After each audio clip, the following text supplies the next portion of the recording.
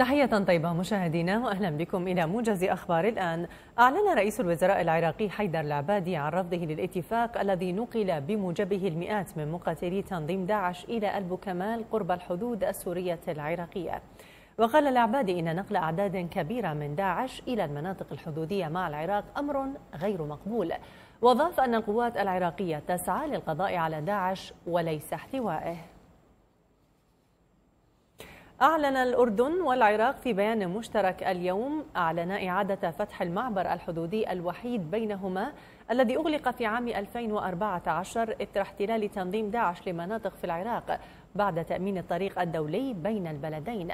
وتعهدت الحكومتان ببذل كل الجهود من خلال تعاونهما المشترك لتحقيق الانسيابية في تنقل المواطنين والشاحنات في الاتجاهين. رفض الرئيس الإيراني حسن روحاني فكرة تفتيش المواقع العسكرية لبلاده مشددا على أن ذلك ليس جزءا من الاتفاق النووي الذي وقعته طهران مع القوى الدولية الكبرى قبل عامين. وقال روحاني في خطاب متلفز إن التزام بلاده مع العالم واضح وعلاقاتها مع الوكالة الدولية للطاقة الذرية تحددها القواعد فقط.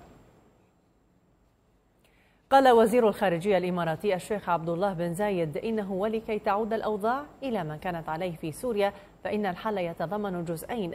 الأول هو حل سياسي في سوريا والآخر يتمثل في خروج إيران وتركيا.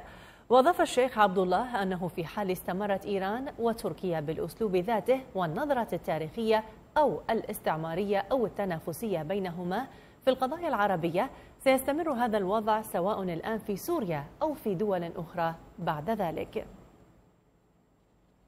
دان مجلس الأمن الدولي بالإجماع التجربة الصاروخية الأخيرة لكوريا الشمالية ودعا المجلس بيونغ يانغ إلى اتخاذ إجراءات ملموسة للحد من التوتر.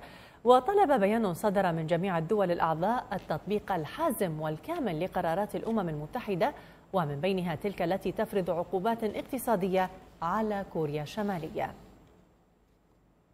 أعلنت الأمم المتحدة يوم أمس أن الصراع المستمر في أفغانستان أجبر أكثر من 212 ألف شخص على النزوح من ديارهم منذ مطلع العام الحالي وحتى الآن.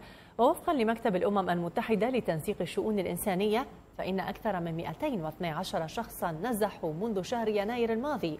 وذكر تقرير جديد للأمم المتحدة أنه وردت أنباء عن حدوث تهجير قسري من 30 إقليما من إجمالي 34 إقليما في أفغانستان.